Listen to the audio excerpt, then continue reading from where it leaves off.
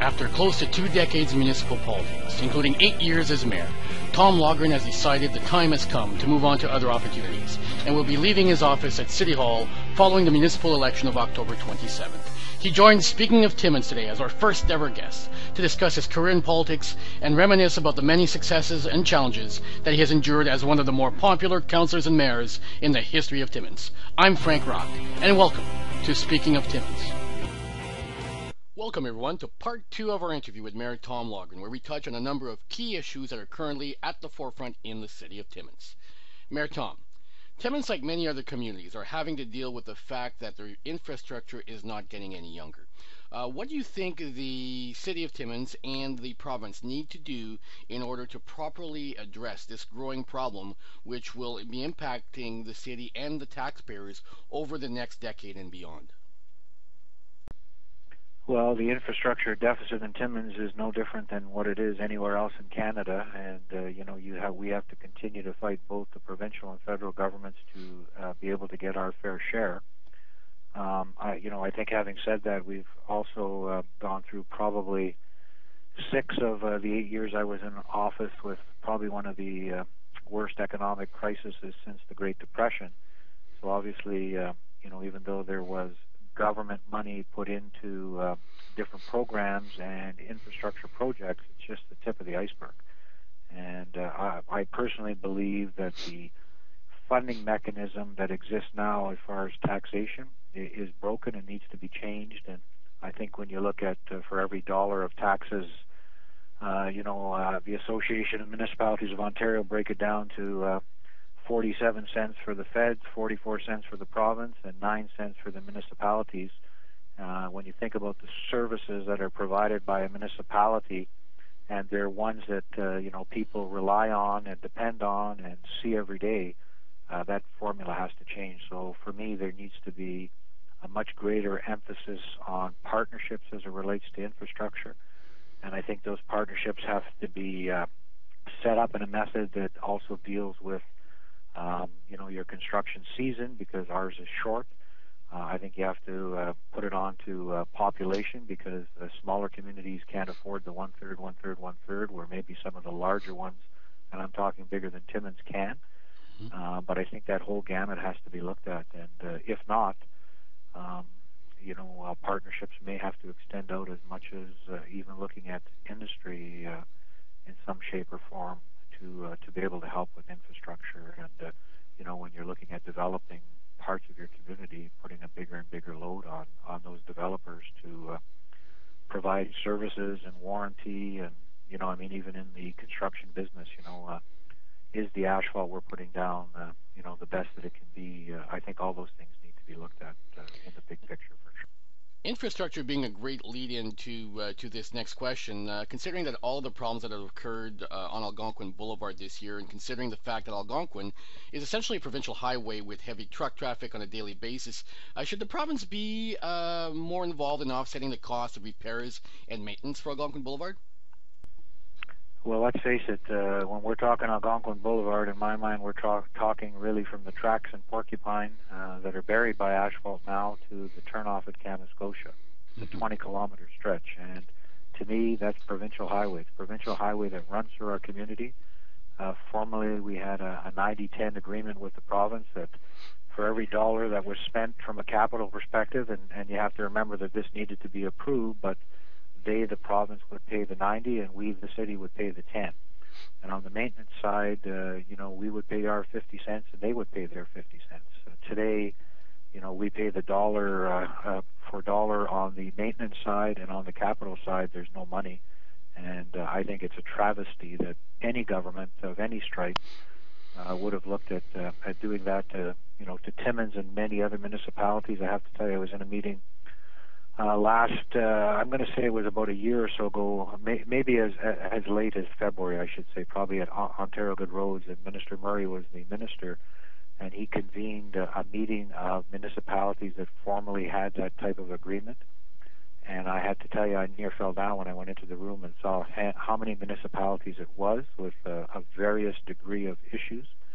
Um, but how a province could do that to uh, partners or supposed partners in municipalities um, I could never understand. And again, it's something that uh, both the provincial and federal government, in my mind, have a hand in, and it's something definitely that we fought hard and and uh, probably didn't get where we wanted to get uh, as it relates to it. But I think the seed has been planted, and I, I believe it'll be up to the next mayor and council to uh, to make sure that that seed grows and that money does come to uh, a community like Timmins. Another issue that gets a lot of attention on a fairly regular basis are the arenas in the community. Do you believe that it is feasible for the city to maintain its current approach of making minor upgrades and simply maintaining and repairing our existing arenas? Or do you believe that it is time for the city to seriously look at the possibility of constructing a new multi-purpose sports facility for uh, for the community? Well, I think uh, you know very similar to uh, to roads or water sewer infrastructure. You know, your recreation facilities are aging, and uh, you know, uh, I don't care which the community is. We probably have never. Uh, there's probably no community that ever puts enough money into them, and as they age, those issues get bigger. So, I guess it's twofold. One is um, you know, in, in some of the areas that we have spent money, I think it's money well spent. I think when you look at uh, a historic building like the McIntyre as an example, um, you know, I still believe that your marquee facility and uh, needs to be kept up, and and obviously if we build one that is uh, it, it becomes that marquee facility. Uh, you know, I think from a history perspective, uh, you know, the McIntyre Arena will be something that uh, you know people will will want to see in the community and uh, you know have a purpose in the community. Uh, I think when you look at some of the uh, the smaller arenas, uh, you know, uh, uh, you know, can we continue to to pour money into them uh, at the rate they may need? Uh, again, that's a decision for our future council. Um, but I mean, I think again, uh, you know, one of the reasons that we went into the uh, the master rec tourism culture plan was to be able to have a plan going forward that will probably look at, out at the next 10 to 20 years. And I suspect in that time frame, as long as there's a good financial plan, um, you know, there will be, uh, you know, new facilities built. But I think you also have to look at uh, the debt load that, uh, uh, you know, the city will have as it relates to uh, water and sewer. When you look at the amount of money that has been uh, put into that over the past uh, 10 years, I think when we, you know, we just asked the question about Algonquin and infrastructure. So I think you know, depending on what happens with that, and the city doesn't have any huge reserves of money that can uh, put their share up ASAP. So again, those are areas you're going to have to look at at borrowing and uh, what kind of impact that puts on future budgets. I think will also uh, trigger what happens, uh, you know, on the uh, on the recreation side. And I think the other uh, area that was really looked at in the uh, rec portion of the master plan, and, and probably uh, indirectly to the tourism as well is you know there's there's other amenities in our community such as ski hills, golf clubs, cross country clubs, uh, you know bike clubs, etc. Mm-hmm. that all struggle and um, you know um, what are we going to do for them as well to ensure that they stay running because again they have a huge part of uh, attracting people to your community, uh, keeping people, especially professional people within your community. So I think the whole bailiwick uh, has to be looked at, and uh, I think we've all watched. Uh, uh, I think we've been very fortunate in our community that uh, ladies uh, hockey and girls hockey has taken off to the extent it has, because I think um, some of the usage that would have been lost because of the downturn in hockey in general uh, across all of Canada. Uh, but I mean, again, usage um, versus what you're going to build build will have to be looked at as well. The uh, the Ring of Fire is another project that has received a lot of publicity over the past couple of years, yet it still remains unclear what type of role, if any, Timmins might play in its development. Can you provide our viewers with an update on uh, the Ring of Fire and where it stands right now, and what role Timmins might uh, eventually play in this project? Well, I think the Ring of Fire, from uh, a building perspective, is still a little bit out. Uh, I know. Uh, you know, uh, Noront, as an example, is you know is definitely looking at moving ahead and, and putting some infrastructure in that will at least give them an opportunity to uh, uh, to get in to get in and do some development as it relates to uh, what the next steps are. The government, you know, definitely has committed some money. Um, you know, there's there's still I think a huge uh, uh, opportunity to uh, work with First Nations and improve those communities. Um, so I, I personally view the Ring of Fire as being probably five or ten years out from you know a real impact uh, perspective, especially on a place like Timmins. Okay. But I but I do believe that uh, when the Ring of Fire uh, does occur, that uh, Timmins is very well positioned uh, because of the type of uh, suppliers and businesses uh, that we have. I think we've uh, you know, uh, we've proven with uh, De Beers and Detour and other projects that uh, you know Timmins uh, uh, does have great contractors, and and so they will play a huge part in the building and running of that facility and the maintenance uh, as it moves forward. The other thing that uh, many municipal leaders have worked very hard on was you know keeping the Ontario Northland Rail in government hands because I personally believe there's a huge opportunity. Um, for Ontario Northland, but for uh, you know to really create a true um, east-west um, run across northern Ontario and, and connect the northwest and the northeast. And you know, I personally believe uh, when you think of why the Ontario Northland Rail was formed uh, back in 1903 to develop the north, this is just an extension of that. Uh, but I I believe the Ring of Fire has the potential to change the economy of uh, for sure Northern Ontario, Ontario, and Canada. So, so in other words, if and when the Ring of Fire project moves forward at full capacity, it may provide the impetus required for the provincial government to invest dollars into the expansion of the Ontario Northland.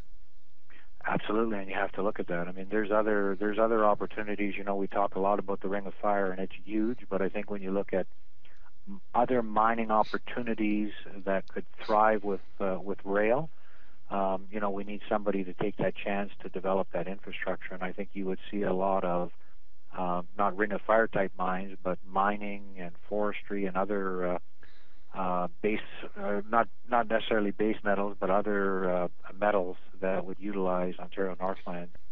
I think it's a partnership between the the uh, businesses, communities, the province, and the feds. I think that's okay. uh, what is, what's got to happen, and I think uh, you could use uh, northern Quebec as an example, or you could use the uh, the oil sands in Alberta as another example, or what's happening in Saskatchewan. But you need that true partnership to make it happen.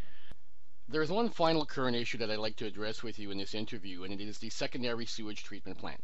We've reached out to members of the community on social media for topics for this interview, and the one topic that came came back to us over and over and over uh, was for you to address or provide an update or some sort of clarification on the situation surrounding the secondary sewage treatment plant. Can you take a few moments just to clarify the situation surrounding this the, the plant and, and give us an update uh, so that uh, our viewers know exactly what the situation is with regards to this project? Uh, yeah, so the secondary sewage treatment plant uh, was uh, a project uh, that was going to um, ensure that the city met the regulations for water and sewer uh, as per the Walkerton regu- regulations.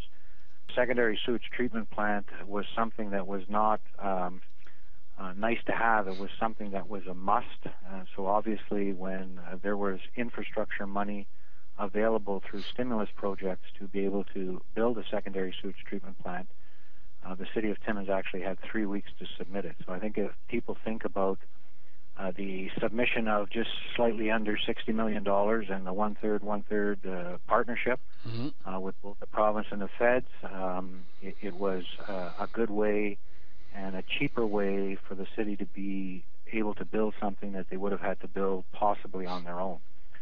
Uh, I think uh, where the confusion has come in with the public is to build a secondary sewage treatment plant and the $60 million cost was a good number. Uh, but was what was never factored in as part of the project uh, was the tie-in between now the new secondary plant and the existing primary plant, and that's where uh, the extra dollars have been required. Uh, the thinking when we put the uh, the application in and the discussions that we had with the province at the time was. They recognized that we didn't have the time to do the proper engineering, which would have taken 12 or 14 months at that time, and as we were going through the process, they would work with us uh, on those extra costs. Uh, you know, realizing that a secondary tr- treatment plant on its own um, would do nothing uh, if it can't work with the primary plant. So that's really where it's at. So the project, as it stands right now, is an $80 million project. Um, all the numbers that I gave you earlier yep. were without um, HST on them. So when you factor the HST in, I believe it takes the number up closer to 82 million. Okay. And again, the province and feds are very, very well aware of of the challenge that we have. And I guess if hindsight uh, being 2020, um, if I had my uh, crystal ball and had to do it again, um, I would have divided it into two projects. The one project would have been the uh, the building of the plant, which is $60 million would have been uh, sufficient to do the building and the engineering of. And then the second portion was uh, would have been the uh, the additions as it relates to the tie-in, and uh, those tie-in numbers would have been separated out and, and gone to the province and the feds uh, in a separate form. Uh, unfortunately, like I said earlier, you know, with the willingness of government at the time of building to work with us, um, as it relates to this project, uh, as they started looking at their financial picture, um, obviously they looked at, at saying, you know, we don't have the extra money to do this right now. Okay. We, the city, have put um, uh, a few different type options in front of them. Uh, you know, because this project really isn't completed until 2015. So okay. obviously, as long as we had some kind of a guarantee that you know extra money would be coming. You know, we don't need that money today, but can we look out at 2015 or 2016? Uh, can we look at a higher rate of funding as it relates to the project in the east end that we have to do? That right now we don't have any government money in a ministry order to do, which is estimated to be about a $16 million project. Um, you know, could there be uh, government money allotted to that to knock the cost down? So we've we've put a multitude of different funding options in front of them, and my hope is is that uh, one of those options will be chosen. I, I think they recognize the issue, and I think they want to work with the city. Okay. I just think they haven't found out that I, I don't think they've found that financial mechanism uh, to be able to work with us. Join us tomorrow for the final portion of our interview with Mayor Tom Laughren, where he'll reminisce about his eight years as mayor, where he shares what one do-over he'd like to have, what he'd like to uh, share as far as advice is concerned with the man who will replace him, and what he's now going to do on his Monday nights. All this and more on part three of our interview with Mayor Tom Laughren. Thanks for joining us. My name is Frank Roch, and this is Speaking of Timmins.